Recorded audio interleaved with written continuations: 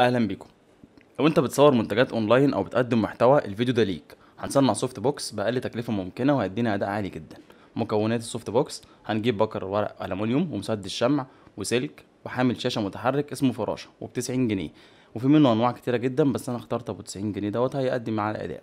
الشرنك ده المتر منه ب 4 جنيه وهنجيب قماشة سمراء أو فازلين أسمر. المتر بتاعها ب 6 جنيه. وقماشة بيضة وكرتون. أنا عملته الطول 70 سنتي والارتفاع 45 سنتي وسبت 3 سنتي وتنيتها وهنعرف في الشرح ليه أنا سبت ال 3 سنتي دول.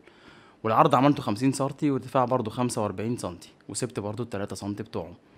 هتسيب 15 سنتي من الجنبين وهتشد خط كده والقطعة الطويلة اللي هي 70 سنتي هتسيب 20 سنتي من الجنبين وهتقص الأجزاء دي وهتبقى بالشكل القمعي دوت بعد القص.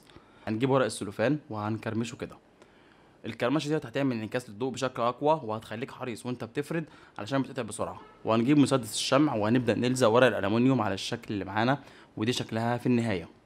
طريقة تانية لزق الالومنيوم وهي إن إحنا نجيب علبة غيره من عند الموان وناخد منها شوية في كوباية ونبدأ نقلب كويس جدا لحد ما تتخف وتبقى لزجة وذات قوام كويس.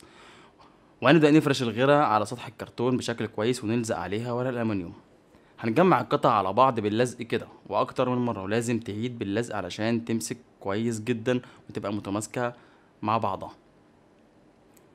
هتبدأ تلزق الفواصل من الداخل. ده هيدينا متانة أكتر ومش هنسيب فاصل إلا لما نعمله كويس بالشمع.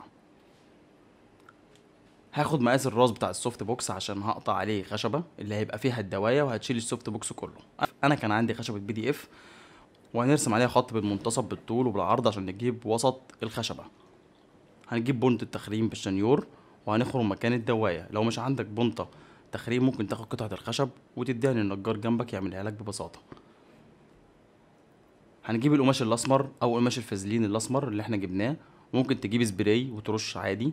المتاح اللي ليك اعمله. وهنبدأ بالشمع ونغطي كل cover ال soft box بيه. قطعة الخشب اللي خرمناها هنجيب مسدس الشمع أو الغرا ونلزق عليها برضو ورق الالومنيوم وهنجيب الدواية والسلك وهنبدأ نركب في الخرم اللي عملناه. لو الخرم مش مظبوط ممكن توسعه شوية بمبرد. هنجيب سليه ستان وده بقى سر الموضوع إنك لازم تجيب قماشة لامعة شوية وهنبدأ نخيط فيها الشرنك اللي جبناه. والشرنك ده هنعمله له عشان لو حبينا نغير اللمبة أو نغسل الغطا الأبيض بكل سهولة. هيتشال معانا ويتركب عادي. الجزء التاني من الشرنك هنبدأ نلحمه في ال soft box بالشمع عادي. هنبدأ نثبت الخشبة في ال soft box. أنا كان عندي دباسة ممكن تستبدلها بمسامير سنتي ونص عادي. ونبدأ نثبت بيها الخشبة في الجسم ونتأكد إن هي اتثبتت كويس جدا. ثبتها تمام ومسكت الحامل وثبته هو كمان ودلوقتي هنركب الفيشة بتاعتنا. خيطت الشرنك في القماشة البيضاء بمنتهى السهولة هنلزقه في ال soft box بتاعنا.